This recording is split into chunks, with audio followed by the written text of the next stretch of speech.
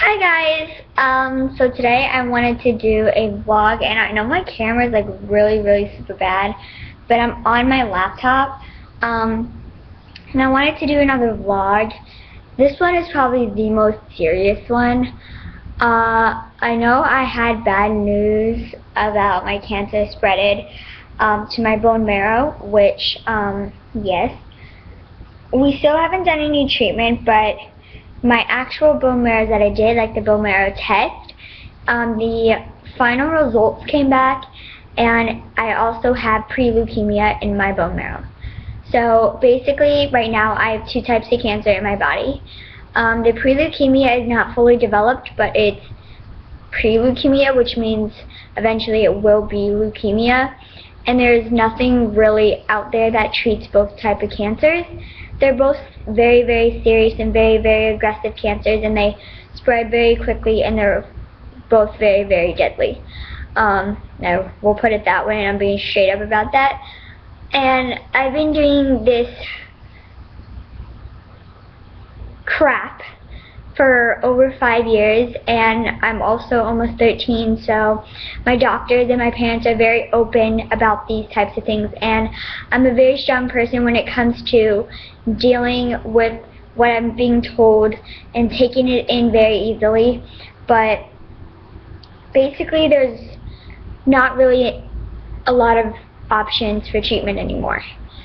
So the thing that they want to do right now is a bone marrow transplant and that is going to be one of the toughest things I'm going to have to do ever because I've done stem cell, I've done surgery. I'm going to show you guys my scar right now. So hopefully you can see it. It goes from here to here and it's very faint now because it was done a long time ago but um, I've done that. I've had so many surgeries it's crazy. So they said this is gonna be the toughest thing I'm gonna do if I do it. So since I'm almost 13 they're giving me a lot of input on it. So basically I have all the input. I'm going to decide whether or not I want to do stem I want to do the bone marrow transplant or whether or not I just want to don't do it and just live the time that I have remaining. So, um, that's basically it. I know it's kind of like a lot to take in, but right now where I'm leaning to is not doing it because I really just don't want to go through that I just don't want to go through it through with it because the chances of surviving are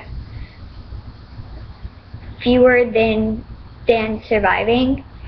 So yeah, and also if I if we even find a match for my bone marrow, if my body rejects it, then I'm screwed. I mean, then I went through all that crap for nothing and then I, yeah. So, I'm, everyone asks me if I'm scared. I'm definitely scared, but I also know that I'm, right now I'm on a low dose chemo, which hopefully it, it's supposed to help neuroblastoma and leukemia, so it'll keep me stable and it's low dose, so it's not going to knock it all out, but it's going to keep me stable for a little bit, and the doctor said if we didn't go through with it, they said four months to a year. And if you're younger than 12, I don't know if you would comprehend what I'm saying, but yeah, that is basically my vlog. I know I kind of sound like, I don't know, it's just, it's hard to explain. So yeah. But I'm going to continue doing videos as long as I can.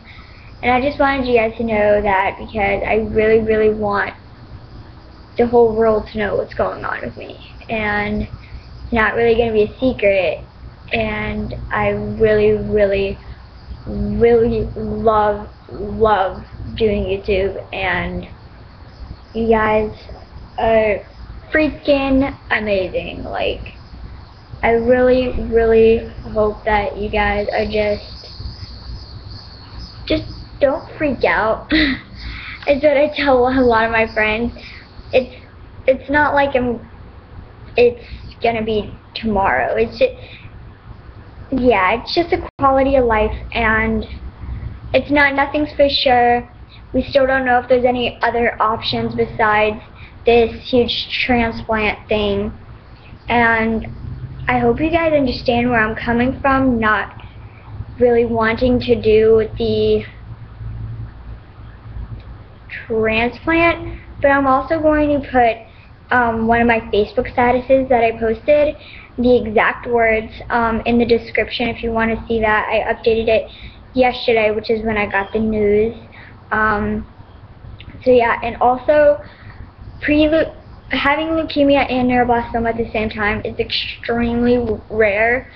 Um, not a lot of people have had that. A lot of times leukemia comes after you've done a lot of treatment because leukemia can be caused by a lot of chemo, a lot of radiation is what I had, what I have had um, over the five, over the past five freaking years. Um, so obviously it's not, it, it wasn't really something to think about for me. It was just,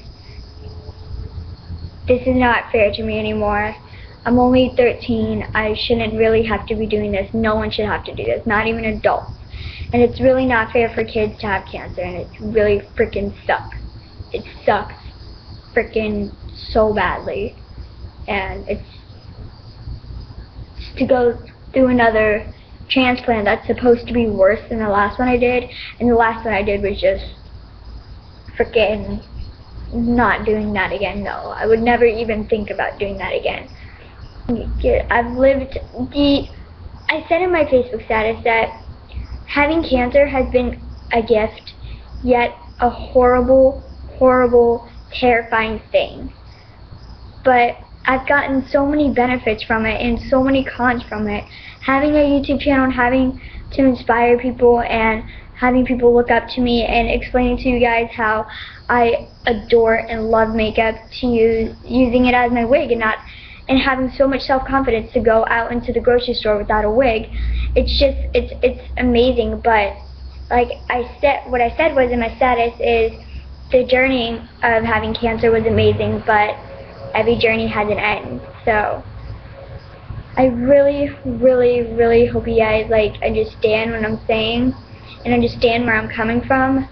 Um, I'm, I'll continue making videos, um, but yeah.